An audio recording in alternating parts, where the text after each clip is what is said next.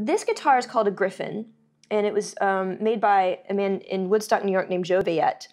And the fact is that Joe and I have a relationship through the instrument. Like he has the planning and the engineering and the in- ingenuity to build something like this. You know, the magic of what's happening, especially in an acoustic guitar, is actually all happening underneath this top. So there's a bracing pattern that's unique to every manufacturer.